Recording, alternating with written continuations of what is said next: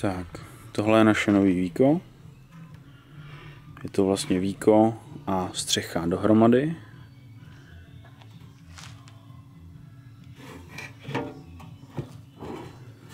Síla materiálu toho víka je stejná jako síla nastavků, takže všechno perfektně izoluje.